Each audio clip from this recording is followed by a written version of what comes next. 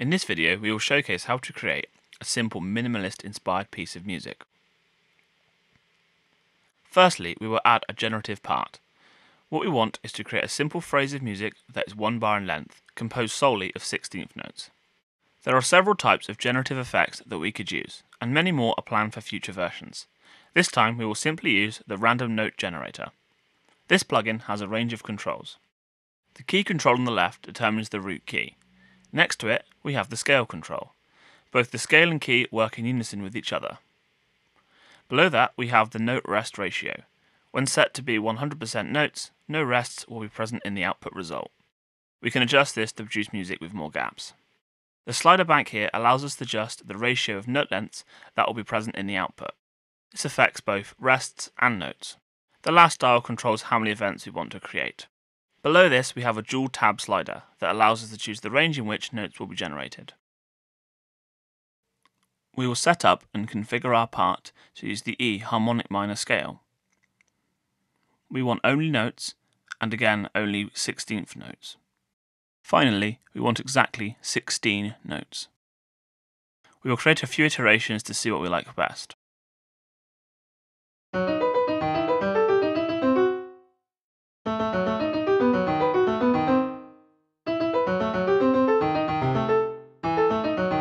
We can see that the notes have quite a wide range. We will probably get more realistic results if we limit the range to be roughly within an octave.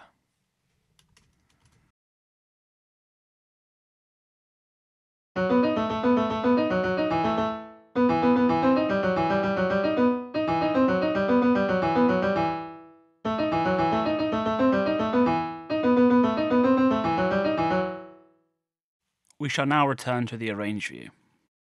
In this piece, what we want to happen is that we want to repeat the part we have just created, but for each repeat we want to remove one note from it at random.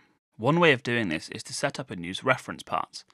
A reference part is essentially where the content of one part is referenced or copied from another part. For example, if we add a second part to this track, we can then right click and select Set Referenced Part.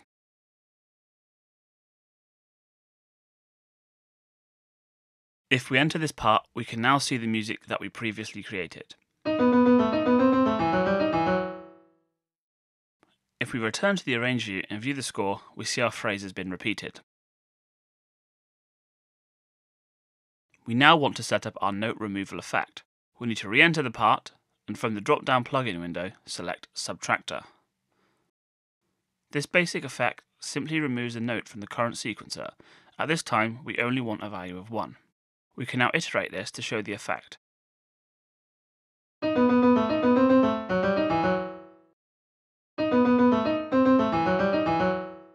We need not worry about the exact iteration, as we will take care of this later.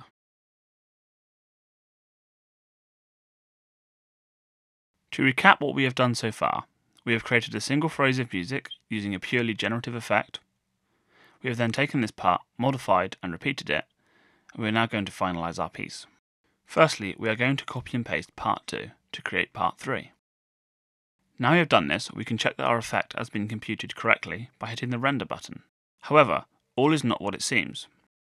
We can use the show dependency button to check what is referencing what, and we can see that part 3 is in fact referencing part 1, when in fact what we want it to do is to reference part 2. Instead, let's remove this part and use the paste special option. When using Paste Special, it allows us to chain up copy and pastes, which is exactly what we want to create our minimalist piece of music. We want to select New Previous Part, so that each pasted part takes its reference from the last part, and we want to create 15 new parts. If we now select Show Dependencies, we can see that we have set up a chain of reference parts. There is one last step to finish our piece of music. If we show the score, we see that the effect of removing a note has not taken effect. We need to change the render options to compute a full iteration. For now, however, we want to lock part 1 as we don't want to change our original part. Once we hit render, we can see that the piece has computed as we wanted it to do. We can now audition this piece to see what it sounds like.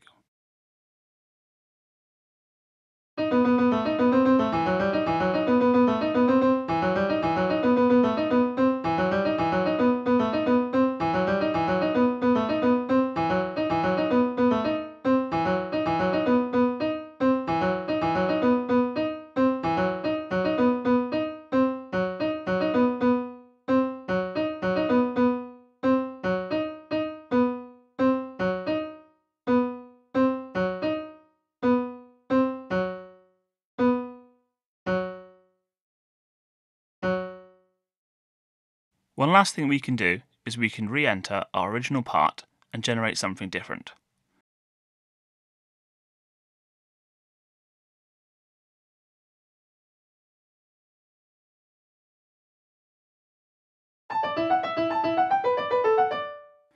Once we return to the Arrange view, we can push render again and all the effects will be recomputed based on the content for part 1 because we have used reference parts. I hope you have enjoyed this video.